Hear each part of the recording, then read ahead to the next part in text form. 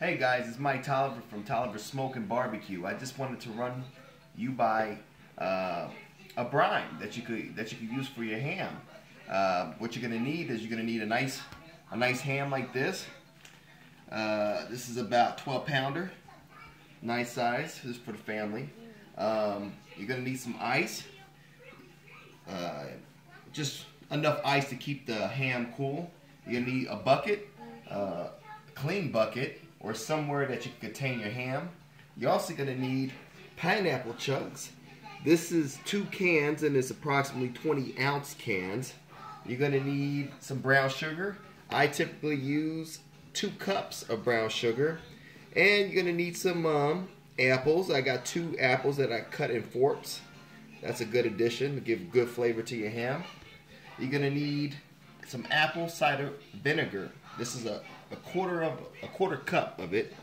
Um, I don't know if you can see here, but this is you're gonna need a half cup of garlic. Uh, anything I cook is always garlic in it. Um, then you're gonna need a half cup of salt. Why my salt looks a little brown? Because I ran out of white salt, so I'm gonna use seasoned salt. It works the same. It doesn't matter typically. So what I did before we started shooting this video is I added about half water. Uh, I filled the bucket halfway up with water. That's what I was trying to say. So now I'm just going to take the ham. You can rinse it out, whatever, whatever you want to do. Put it in. Put it in the bucket. Now, uh, your ham should be in covered in the water. The water should be covering it completely.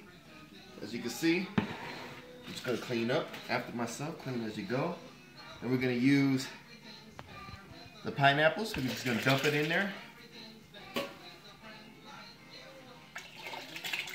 Has a nice flavor.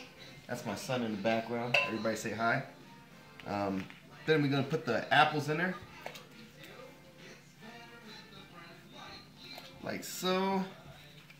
We're gonna put the brown sugar in there. Like so, like again, that's two cups the garlic,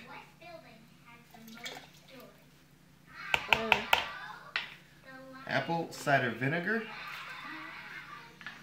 then your salt. Obviously, you could use more salt than this. This is just what I like to use. And you just got to get in there and you just got to mix it all up.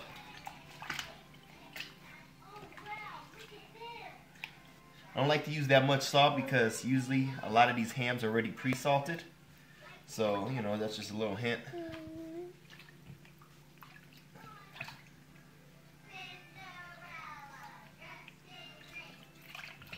Just mix it around a little bit.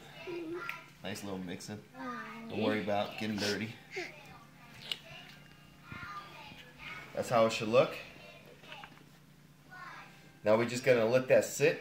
Uh, today's Saturday. Tomorrow's is when I'm to be cooking. Typically, brines is 24 hours to 72.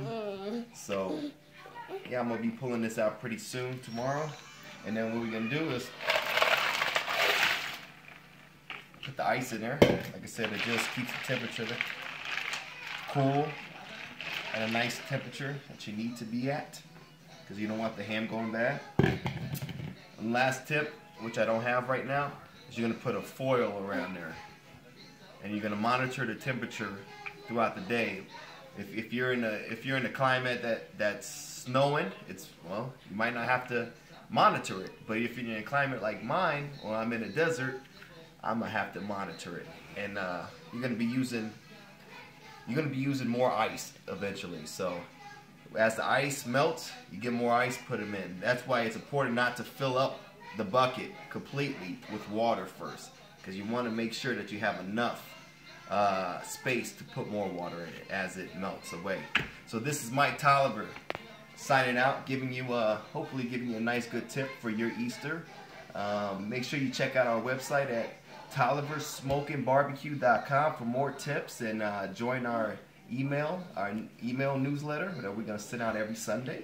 Um, tuning out, Mike Tolliver. Have a happy Easter, guys. Thank you.